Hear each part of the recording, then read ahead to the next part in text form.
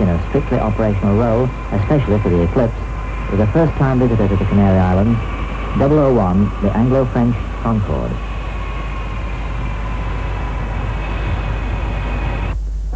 This is one way of getting above the Earth's atmosphere, practically and for all intents and purposes.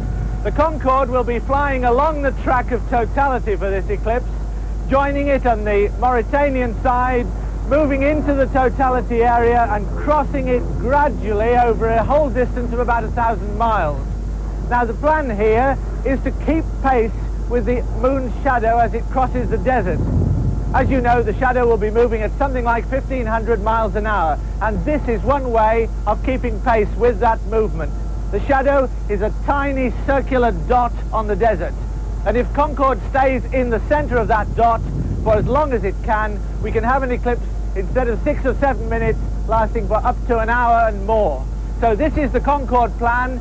Experiments have been installed on the aircraft, poking through holes that have been cut in the shell, looking straight out at the sun through a minimum of Earth's atmosphere. We're undoubtedly assured of some very effective results from this sort of experiment. One of the experiments that's being carried on Concorde this time will be to investigate the appearance of the corona in infrared light. Now this requires specific techniques.